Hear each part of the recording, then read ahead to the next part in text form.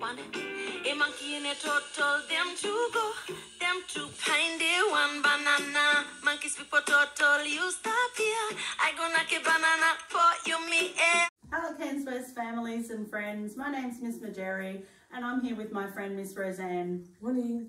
Miss Roseanne, on the way down I overheard you speaking with a group of students, but I couldn't understand what you were really saying. What language were you speaking?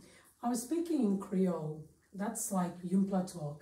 I speak it at home with my family and from where I'm from, which is Yorke Island, you can see it on the map. Or we're traditionally known as Masig. Creole spoken by Torres Strait Islander people that live all over Australia. Oh, that's interesting. Thanks for that. Do you think you can teach me something? Sure, Miss Maugeri, what would you like to learn?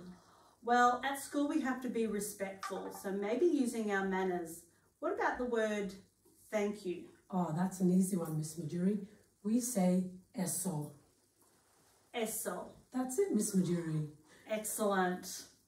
Or if we're really grateful for something, we say mina big eso. Mina big eso. Excellent, Miss Maugeri. Families, your go. Let's see if you can say eso. Ready? Eso.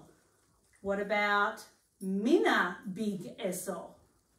Mina, Mina big, big eso. eso. Good work, Excellent. That's great. Oh, thanks, Miss Roseanne. Oh, or Eso, Miss eso. Bye, everyone. Bye.